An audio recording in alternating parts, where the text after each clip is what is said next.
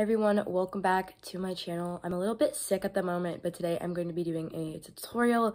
Hopefully my voice isn't like too different from what it normally is because it's a little bit raspy.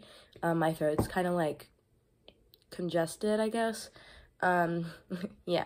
Anyways, so today I'm really excited because I have a tutorial. I haven't made a tutorial in a really long time, but I really wanted to make a tutorial because this tutorial is actually not that hard and it's really cute. So let me grab it. So I made this like blueberry pillow. I think it is so cute. It goes really cute on my bed. My bed is currently not made, so I'll show like a little clip of it, what it looks like at the end of the video, when like all put together whenever with the pillow on the bed. But it is literally so soft. It's squishy. It's big. It's like you can actually like use it as a pillow and whatnot. And it's also perfect for just like a decoration if you want like like a fun, you know, decoration for summer, whatnot. Um, but yeah, this was actually really easy to make. Um, the main part of this pillow is actually completely made by hand, which is really, really cool. And then this top part is made from crochet, or you can just make this like, um, like a pillow without the thing on top, um, and just have it as like, like a circular pillow. So yeah, but Today, I'm going to be doing a tutorial on this, so let's get into what we're going to be needing. Alright, so for the main thing that we're going to be needing for this tutorial is obviously some stuffing. Um, I just have this big bag of fiberfill that I got from Amazon. Um, you can literally get fiberfill or polyfill anywhere online, Michael, craft store, you can find polyfill or fiberfill. So we need that. Um, then for the yarn I used, I used this Bernat Blanket Big branded yarn. This is really soft, really chunky, and you only need one ball of this. I got this on sale from Michael's for $5, which is pretty good. And then if you want to use, um, if you want to make like the top of the pillow, I would get a green color. And you can just get this in any like worsted weight yarn. Um, worsted weight yarn. It doesn't even have to be expensive.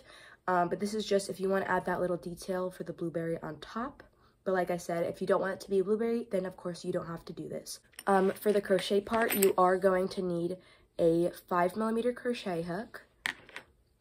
You're going to need a yarn needle or like um, just a needle that you can like sew crochet parts together. You're going to need a stitch marker or paper clip or whatever you use as a stitch marker. And lastly, you're going to need a pair of scissors. If you want to add like a little face to your um, blueberry, you can do that, but I do not show how to do that in the video. So just keep that in mind if you want to add some safety eyes and add like a little smile and whatnot. It's all up to you and what you want to do with it. So yeah, let's just get right on into it. Okay, so to start off, we are going to start with the um, top of the blueberry, like the stem part. So if you don't want to um, make this part and just make the pillow, you know, then you can skip ahead and um, try to find where I start making the pillow.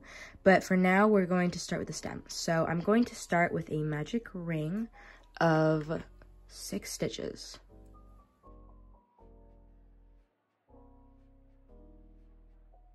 and then you're going to pull it tight. And now we're going to put our stitch marker on the loop that's currently around our hook. And for our first row, we are going to increase in every single stitch. And we're just doing single crochets for this entire um, part.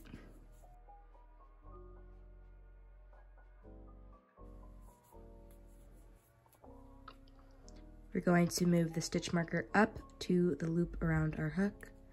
And for the next row, we're going to just be slowly increasing this. So for the next row, we're going to be doing a single crochet in the first stitch and then in the next stitch, an increase. And we're going to repeat that all the way around.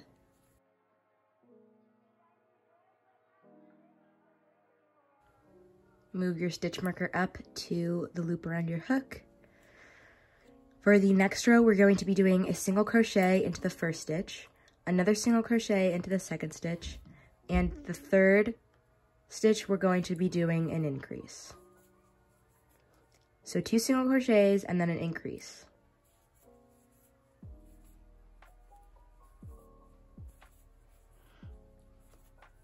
And we're just going to repeat this all the way around.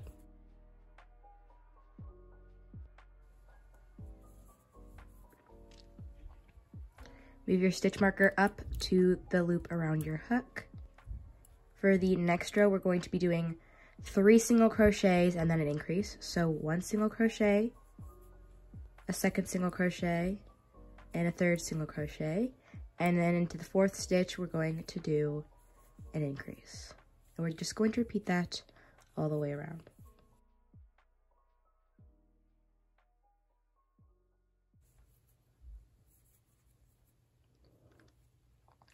Move the stitch marker up to the loop around your hook.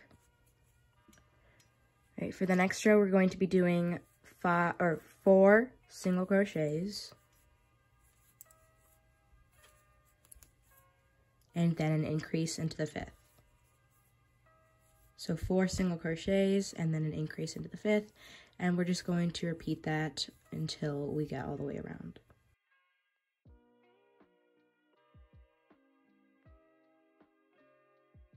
All right, so we're gonna move the stitch marker up to the loop around our hook. And for the last row, we're going to add um, like the parts that kind of like hang off a little bit. So I'm gonna show you how to do that for the last row. So we're going to put three single crochets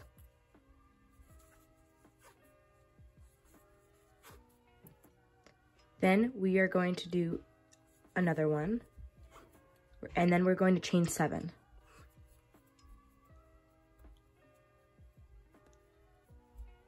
We're going to go into the stitch and do a single crochet, and then we're just going to single crochet down that chain.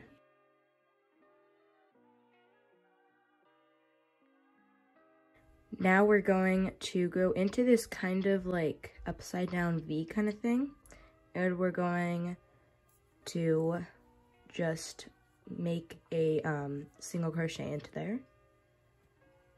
And then we're going to make a single crochet back into the next stitch. And that is how you make those like little um, kind of pieces that stick out. So now we're going to single crochet into the next three stitches. And now into this fourth one, we're going to do single crochet and then repeat with the chain seven. Then we're going to go into the chain, do a single crochet, and we're going to do single crochets down that chain.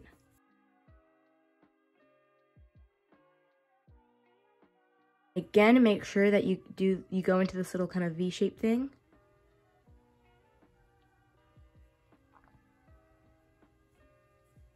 And do a single crochet. And then single crochet into the next stitch. So we're going to keep repeating that um, pattern.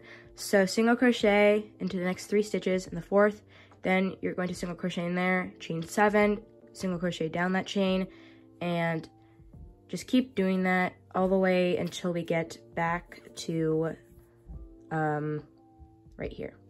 I'm just finishing up the round.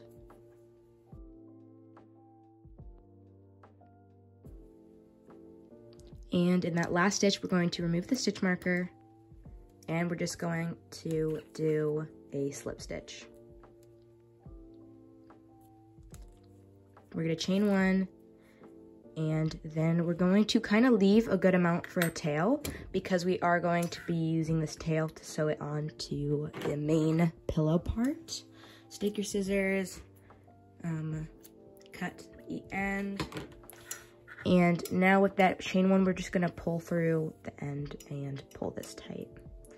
So now we can put this piece to the side and we're gonna grab our chunky yarn and start the pillow. All right, so I did just zoom out a bit so you can see what I'm doing a little bit better because this yarn is really, all right, so I'm just going to take this off. Um, let's find the end.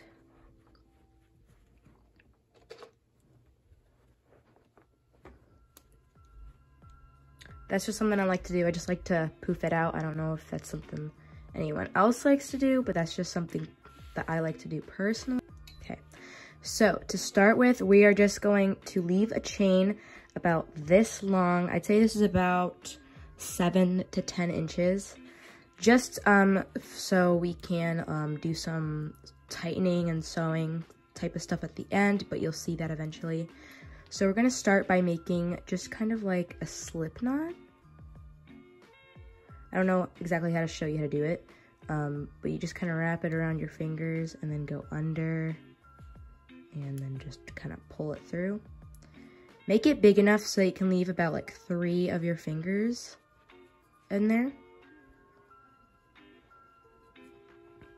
And now we are going to make about 15 uh, chains. So you're gonna use your fingers for this. And make them pretty decently sized. You don't want them to be, you know, too big or too small, but we wanna be able to see the chains. So I don't know if what I'm doing is extremely clear or not, but I'm going to try my best um, to show you how to do this. So make 15 chains, and I'm just kind of using my fingers, grabbing the string, and then pulling it through. And yeah. I'll show you maybe one or two more times. But yeah, keep doing this until you have 15 chains. All right, once you have 15 chains, then you're going to take this loop and you're just going to put it through right there. And it should look like a circle. Um, it doesn't it doesn't really look like a pillow right now, obviously, but that's because we haven't worked it up very well yet. So, this is just the beginning. So once we have this little loop, then we're going to make sure that we don't accidentally use this tail. We're going to put that over there. We're going to use this part. And we're just going to leave this right there. Just leave that touch. Don't touch that. And now we can just keep pulling this yarn through and making loops through every stitch that we made.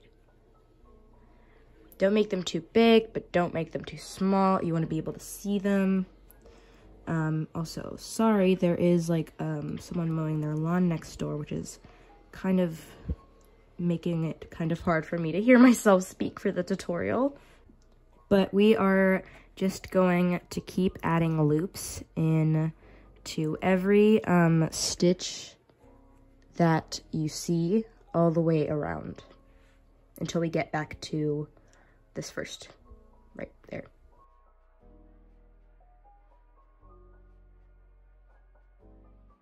Okay, so this is what um, it should sort of look like.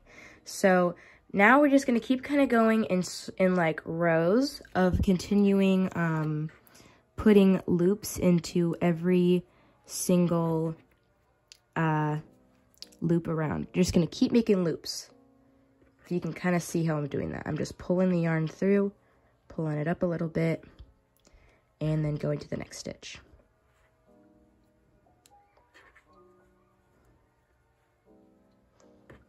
We're just going to keep doing this for 15 rounds. And the way that I track my rounds is I like to make sure wherever this tail is, is where I count like, like the bottom of my rows from.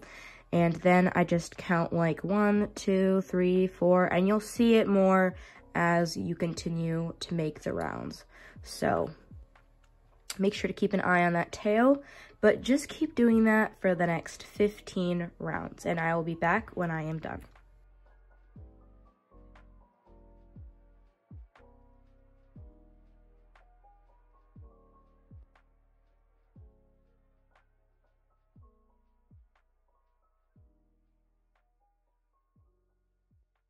All right, so I did not finish the 15 rounds yet, but I'm just kind of showing you, this is kind of how it starts to build up after a few rounds. So yeah, I think it's looking pretty good, but I'll meet you back when I'm actually done with 15 rows now. All right, so once you finish your 15 rows, it should look like this. It just kind of looks like a blob at the moment. Um, so this is the top. You want to leave a good amount of a, um, not a chain, but like a um, tail. And then we are going to cut the yarn. Um, there might be some fluffies that come off because this yarn is one of those kinds of yarns. Um, you do have a little bit of extra, so if you don't, I don't know if you want to do anything with this or not, but there is some extra yarn from that ball. And then we have the bottom. So the bottom situation we will work on before the top. So for the bottom, we are going to grab this end tail and we're just gonna kind of pull it through.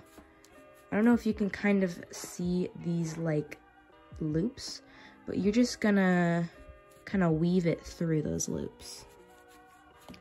And this is what I did for the blueberry because it just helps um, you so when you want to pull the bottom tight, it just kind of tightens. So that's something I really liked about this tightening strategy, I guess. I don't know. The way to end it off. Make it look finished. And if it starts to get a bit short, you can start um, to pull it and you'll see it, you know, start to cinch in, which is exactly what we want because we want it to, you know, be the shape of a blueberry. So, but yeah, continue doing this until the entire bottom is cinched up. All right, I finished with the bottom. So now it's all cinched up. You just kind of tuck in the end. And now we are going to fix the top. So we're actually going to grab our stuffing and start stuffing it as well. Um, because we don't want to close it up before we stuff it because otherwise it's not a pillow. Um, so go ahead and grab your stuffing.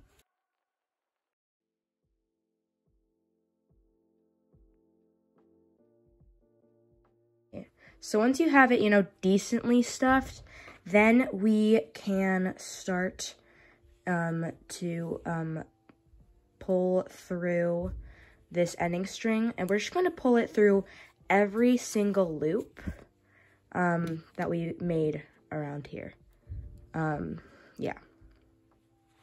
This one started to come undone, but I'll just redo it.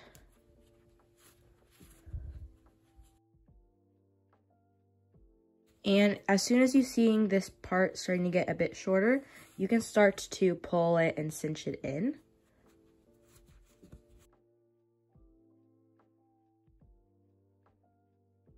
All right, so once you get that, you're just gonna, you know, continue pulling it until it is pretty much closed. But um, don't fully close it yet um, because you still want to stuff it because it's not fully stuffed. So let me continue stuffing it. Once it's fully stuffed, you just keep pulling it until it's nice and secure. And it should look kind of like just like a big kind of pillow or ball or whatever. And yeah. So I'm just making sure it's really secure. And then I'm actually going to go in with a really big um, crochet hook. But it's okay if you don't have one of these. Um, because you can just kind of use your fingers to tuck it in underneath. But um, you can just pull this yarn underneath to get it really secure. And I go in a few times just from several little different directions just to make sure that this yarn really stays secure and doesn't like undo. And then you can just go ahead and cut the excess yarn from the tail.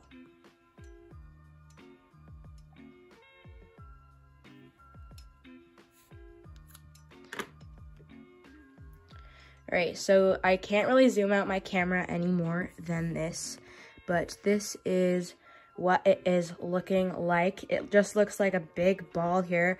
I will turn the camera around for a moment so you can see what I mean. You can see the camera stand, but um, this is what it looks like. It's literally ginormous. Um, but yeah, so this is what it looks like. Now we're going to sew the stem on the top and then we have our pillow. All right, so to sew the top on, you're going to grab the piece and we're going to grab our um, like uh, yarn needle or sewing needle and we're going to slide the yarn through. All right. Okay. So this part we just kind of want to make sure is underneath. And then we kind of, you know, center it where we want it to go. And from here, you can just kind of start, you know, sewing it on.